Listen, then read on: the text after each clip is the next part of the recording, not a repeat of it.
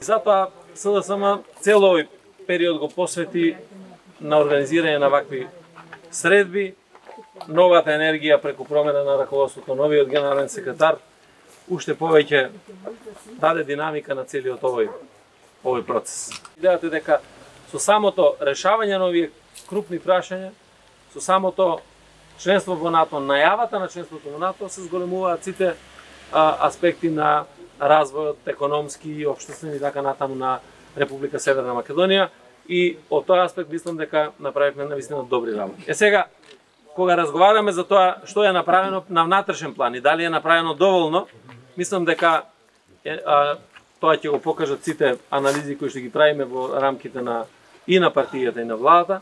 Реализацијата на проектите се повеќе од тоа што беше предвидено во планот за живот. Една од клучните работи кои што ги ветивме во првите месеци од владењето, во првата година, беа решението на проблемот на стечајните работници. Го решивме комплетно со неколку измени на законот, околу 10.600 стечајни работници во Македонија веќе земаат на доместо.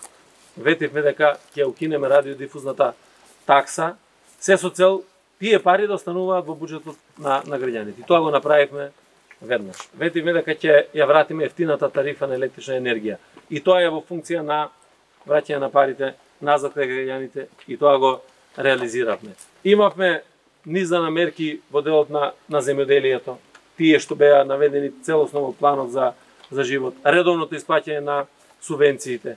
Сите заостанати субвенции ги исплативме. Еден од клучните проекти за враќањето на финансиските средства кај граѓаните беше враќањето на данокот на додадена вредност, 15%.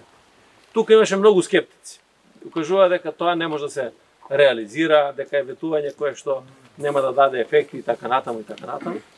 Од 1 јули започнавме со, со реализација и анализите покажуваат со истиот период од минатата година имаме зголемување 10, 12 до 15 проценти на данокот на додадена вредност. Во иднина ни преостануваат уште многу други активности, се со цел да успееме да развиеме максимално економијата. И тука сме посветени